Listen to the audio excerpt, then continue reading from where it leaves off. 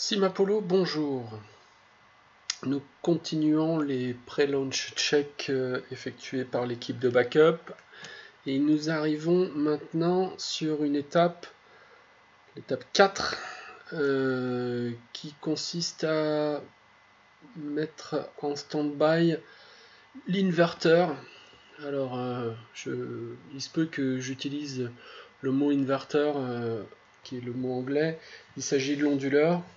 Numéro 3.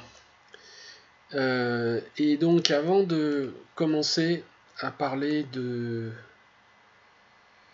comment on va faire ça, je vais expliquer un petit peu de quoi il s'agit.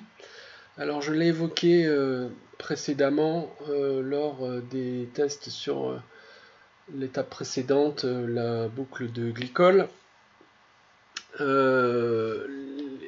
Les, circuits de glycol primaire et secondaire hein, disposent de pompes qui ont besoin de, de courants alternatifs pour fonctionner. Or, on l'a déjà dit, euh, dans le CSM, notre source principale d'énergie, ce sont les piles euh, à hydrogène qui produisent du courant continu, euh, qui, fournissent beaucoup de puissance, mais en courant continu. Donc à partir de ce courant continu, il faut fabriquer du courant alternatif. Et les systèmes euh, qui permettent de faire ça sont des systèmes électroniques euh, appelés onduleurs. Donc ce sont des systèmes qui, à partir de courant continu, fabriquent du courant alternatif. Et euh, les onduleurs en anglais, ce sont les AC inverteurs. Donc j'imagine que le mot inverter veut dire inversion de, mode de courant entre alternatif et, euh, continu. bon, peu importe. Euh, mais donc du coup, il se peut que j'utilise le mot inverseur ou inverteur euh, plutôt qu'onduleur. Alors, nous avons trois inverseurs. Le 1, le 2 et le 3 et ils alimentent deux bus alternatifs, le bus 1 et le bus 2.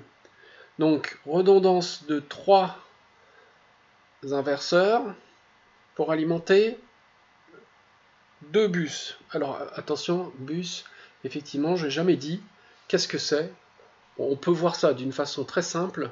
Imaginons une multiprise euh, qui est branché donc sur une source, euh, une source de courant, un bus, c'est ça.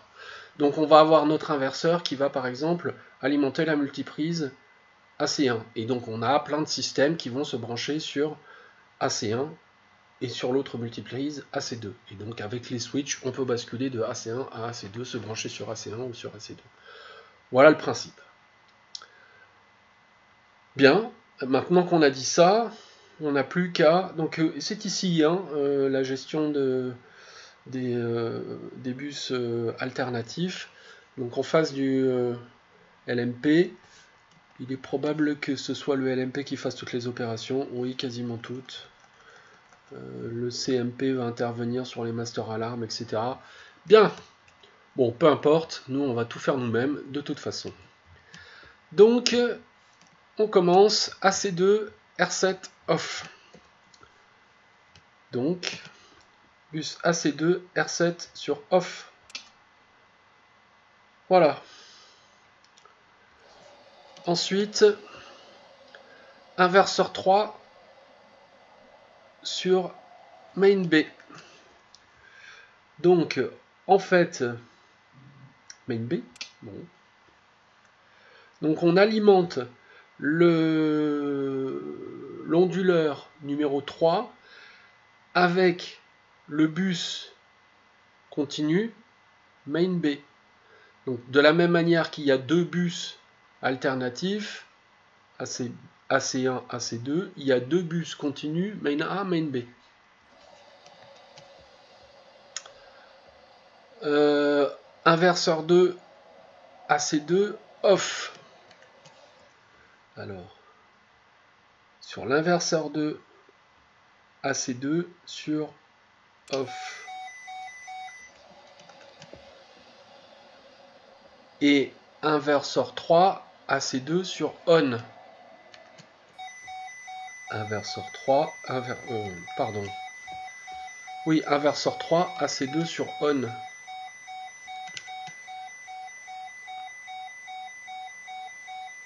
Inverseur 3 AC2 sur on.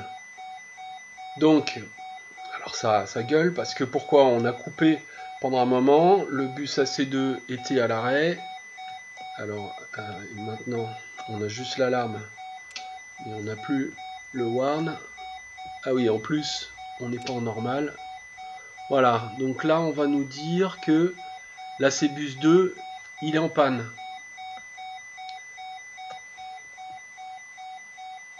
Et si maintenant je l'alimente avec l'inverseur 3, ah, on a toujours euh, l'alarme. Bon, on va se remettre sur ACK. Hein.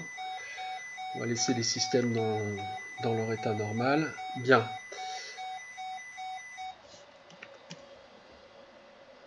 Ok, AC2, R7, AC2, R7.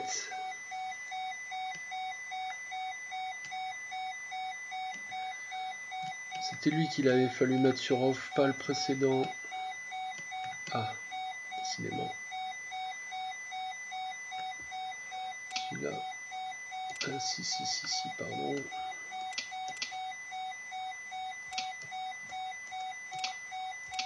Voilà. Ok. Si je me mets en normal ici, cette fois-ci, voilà, j'ai euh, indiqué que le bus était revenu en état. Là, ce bouton Reset permet de mettre à jour les affichages qui sont en haut. C'est-à-dire que si on, coupe le courant ici, ça allume l'alarme. Si je le rétablis, l'alarme reste allumée pour me signaler que ça a été euh, coupé pendant un moment. Si je veux signifier que OK, j'ai rétabli le courant, je fais R7 ici, et cette fois-ci, l'alarme disparaît. Allez, cette fois-ci, je touche plus au CWS. Je le laisse comme il faut. Ok, donc maintenant, on voit que le bus 2 est alimenté par l'inverseur numéro 3. On nous dit que la master alarm est en train de gueuler. Eh bien oui, évidemment. Donc, on va appuyer sur le bouton pour interrompre l'alarme. Ouf, ça va mieux. C'est vrai que c'est déstressant quand ça s'arrête. Euh, alors on nous dit que les lumières s'éteignent, mais normalement on est en ACK, donc euh, je sais pas. Reset position, euh, reset switches to reset, alarm light and tone, switches to center. Oui, alors là, en fait, ils expliquent euh, exactement euh, ce que je vous ai expliqué juste avant, à savoir que on, signifie une modification d'état au niveau des, alarmes ici euh, en, en, appuyant sur Reset ici. Oula. Bien. Étape suivante. Euh, on vérifie les indicateurs du bus 2 phase A, B, C. Alors en fait, c'est du triphasé. Il y a trois phases A, B, C.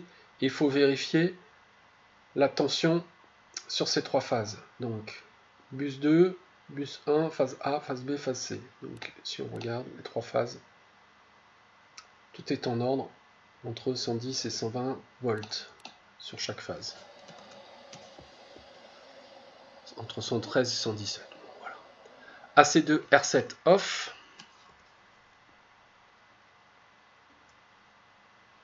Voilà. Inverseur de AC2. Alors, euh, pardon. Inverseur 3 AC2 off. Inverseur 3 AC2 off. Inverseur 2 AC2 on. Donc on réalimente AC2 par le deuxième inverseur. AC2 reset. Voilà.